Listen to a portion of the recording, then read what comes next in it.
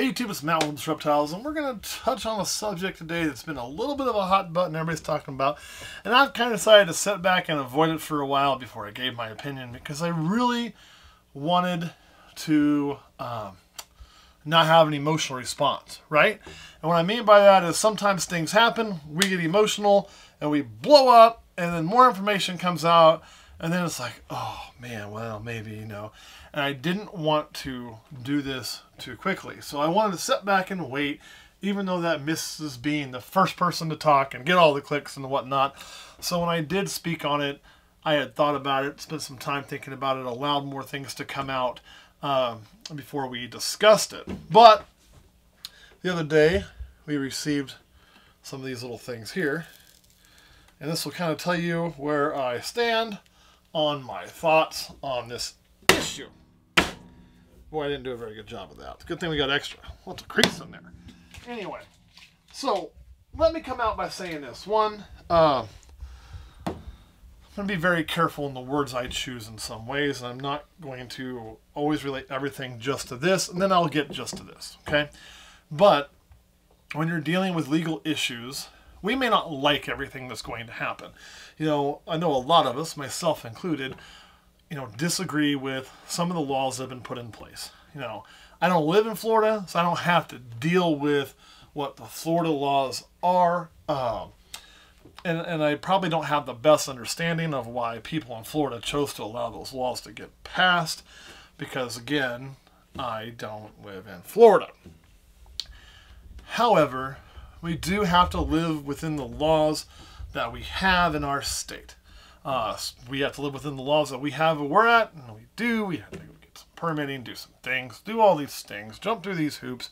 You know, and ours is not near as bad as what it is in Florida or some other places, thankfully.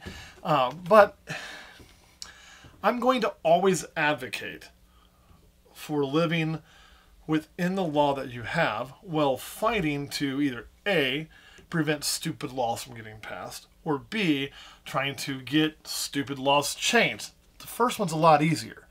It was easier to fight against stupid laws from being passed than it is to try to change a stupid law once it's already on the books.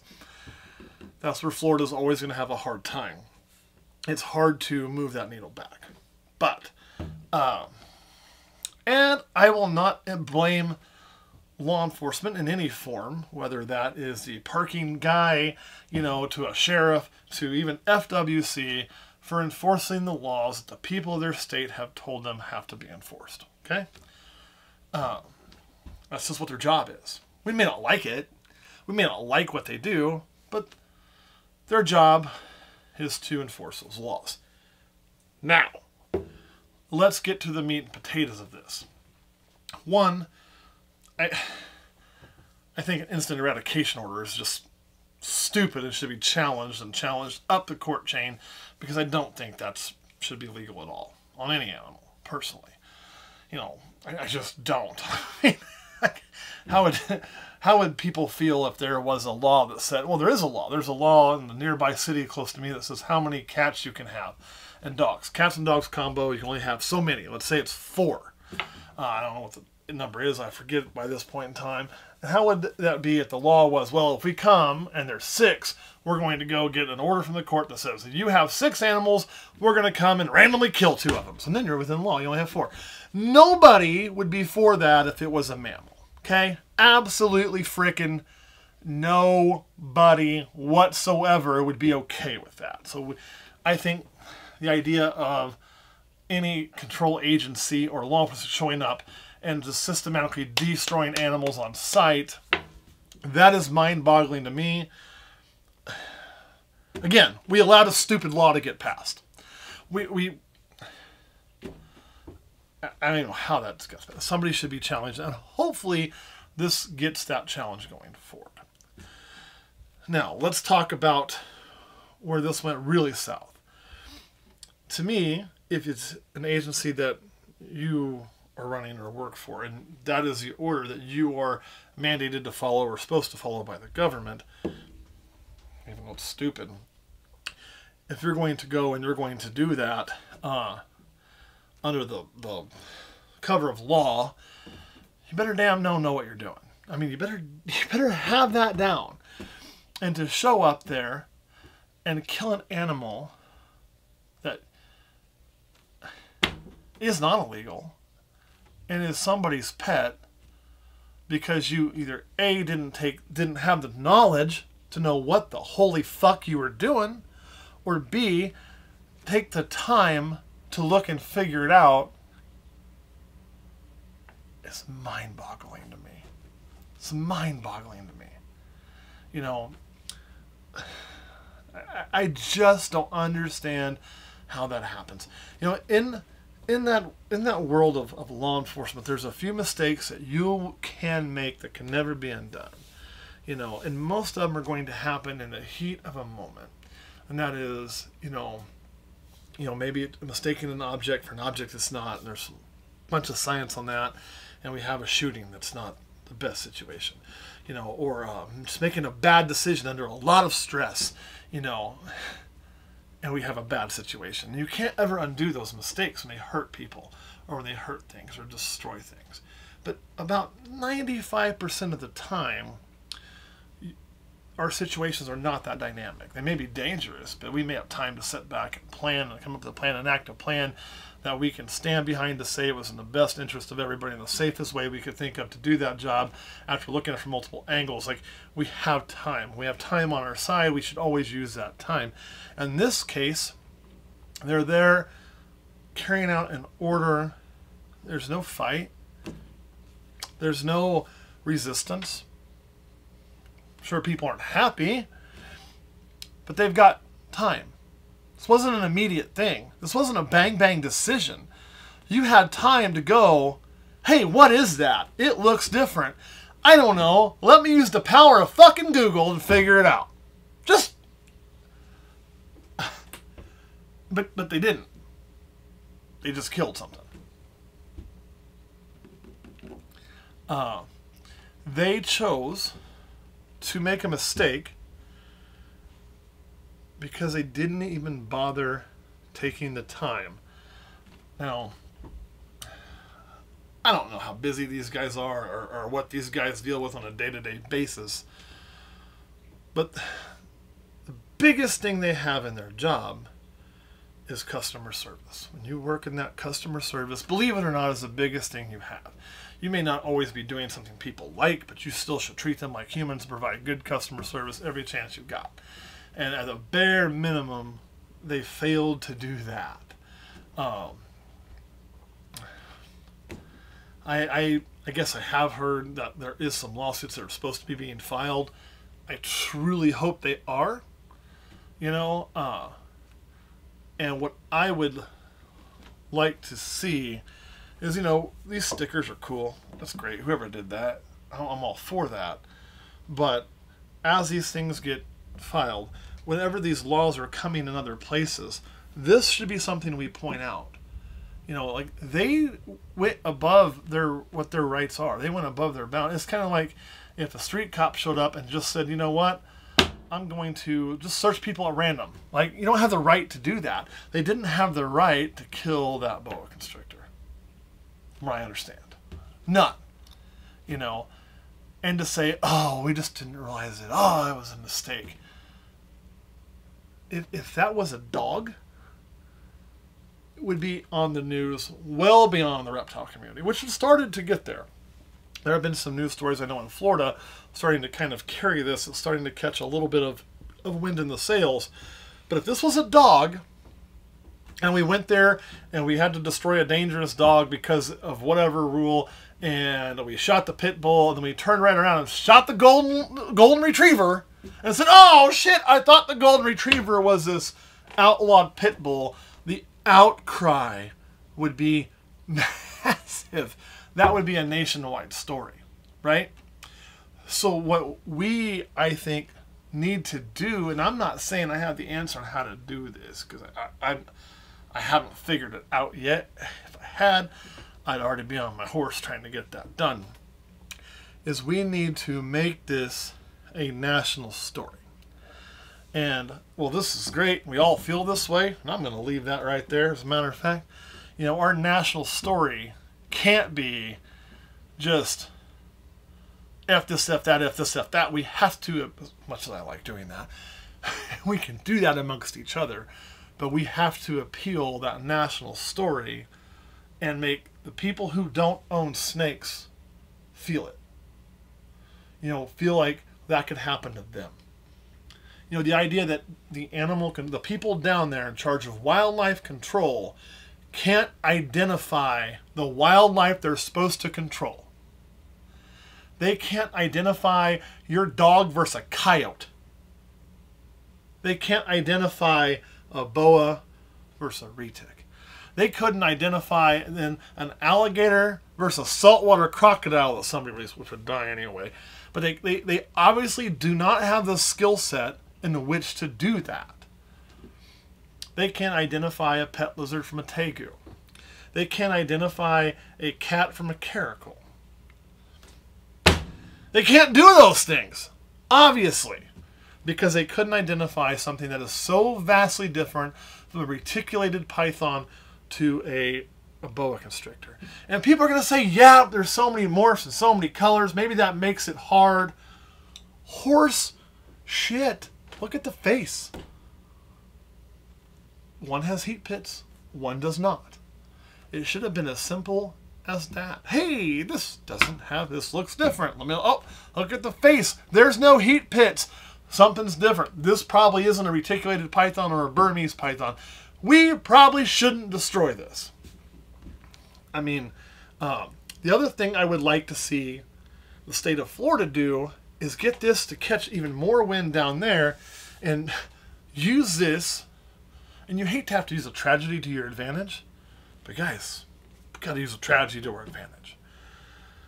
Get this law changed where they do not have the authority to come in and destroy animals on site. If they wanted to, to, to, to take that facility down because it's illegal or whatnot, they should have to take every one of those animals. They should have to hold them in proper care and proper storage until a court date where they can be identified properly by somebody that has knowledge to do so because obviously they fucking don't. Period. Period. And, you know, then as much as I hate the whole entire law, we may have to be stuck with it until they can get that law changed or get it thrown out from somewhere else. Um, but the fact that, that we're allowing this should show, if we use it properly, that that part of the law at least should absolutely be different because they have failed to do it. You know, and, and I can relate it to a hundred things for you. You know, you can look at. I'm gonna give you guys a case, uh, and it is a legal case. It has nothing to do with reptiles, but just bear with me. It's called Tennessee v. Garner, and if you get into Tennessee v. Garner, it deals with fleeing felon. Many of you have probably heard that hey, you can shoot a fleeing felon. Not anymore. But back in the day, the law actually said if they're a felon and they're a running, you could shoot them. Right? And they trusted good decision making until somebody shot a very young individual who was going over a fence and, and really hadn't uh, done anything. I mean, he had. He had committed a felony that was a property crime and got shot for his troubles, if I'm thinking of the right one. And then it caused them to look at that and go, whoa, wait a minute. Well, that was legal in this instance. That's stupid, and we probably shouldn't allow that anymore.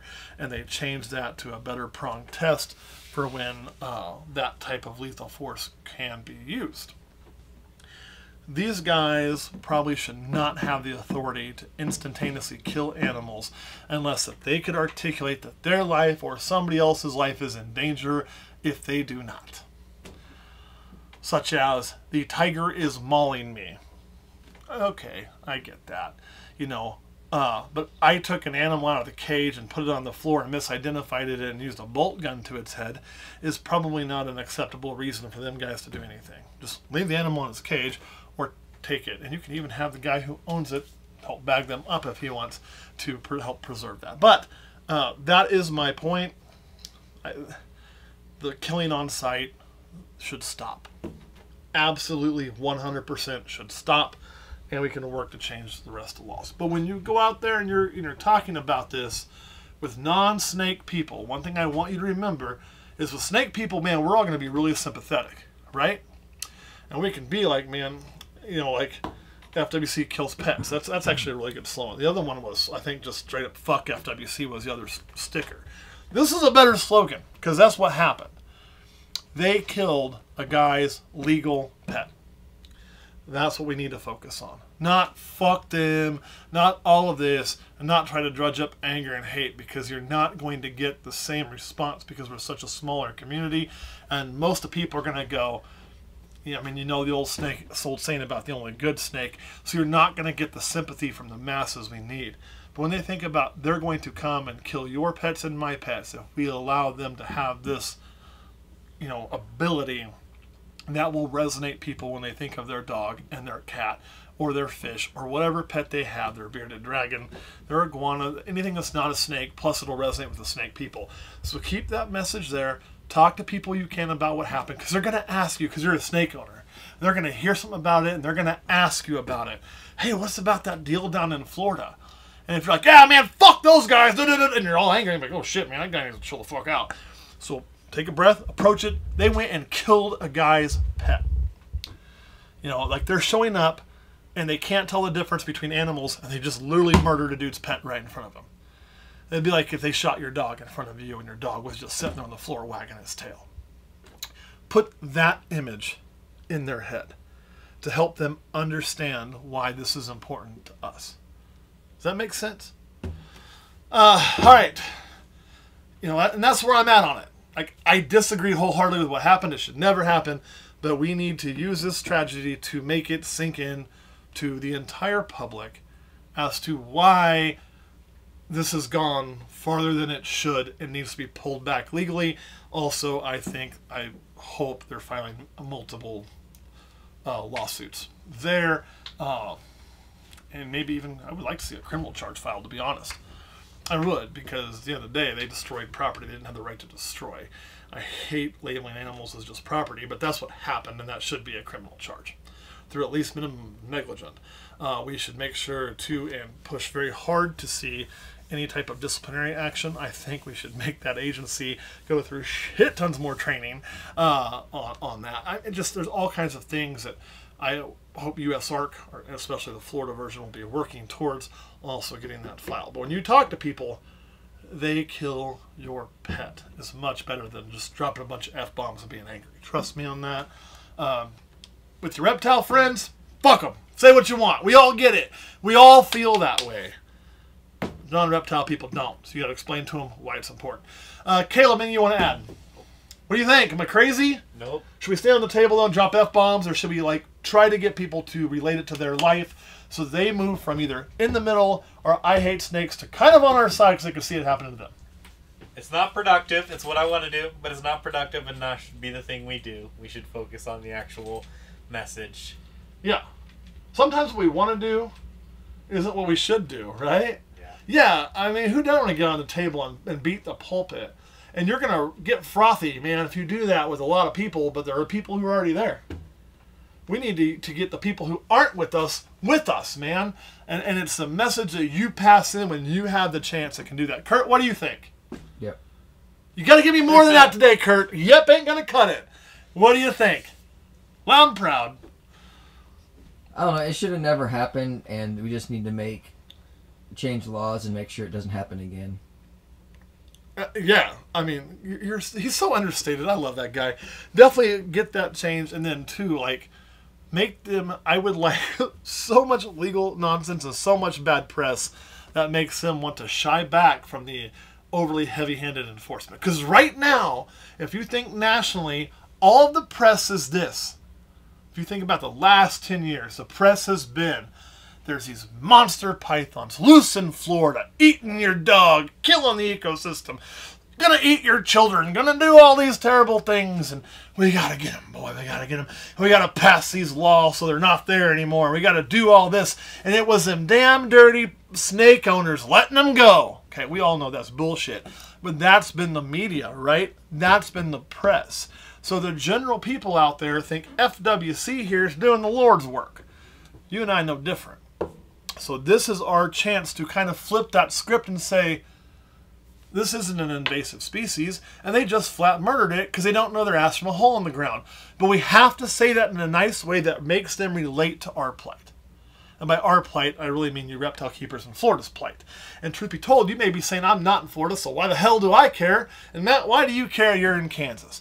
Because what's Florida's plight today is our plight tomorrow. Make no bones about it. What happens on those coasts eventually works its way to the more, uh, don't get mad at me, folks, the more sane states that don't tend to pass stupid laws as quick, and we kind of abhor change, even good change. We're just slow to do it because we're in the middle.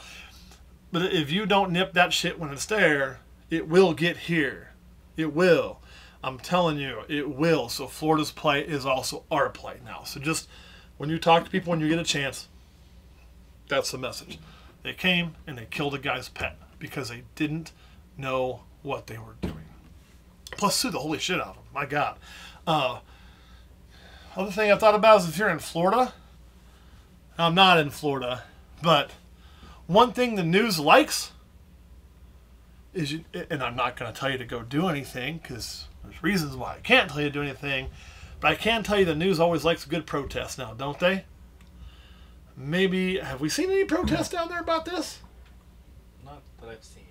I mean, if we could get, I don't know, few hundred people from Florida, four or five maybe, hundred, uh, outside of those offices with signs that say FWC kills pets and passing that message when the news media shows up and doing that and doing it in a respectful way, that can also help affect change. For whatever reason, protests bring out the best, right? I mean, uh, sometimes sometimes it burns cities down. Don't burn the city down, but let's make our voices heard if we can. So if somebody is down there and wants to organize that, I can't really do it from Kansas, y'all. Somebody should probably be organizing that. Uh, all right, anything else you guys want to add? Nope. No. All right, guys, we'll catch you next time.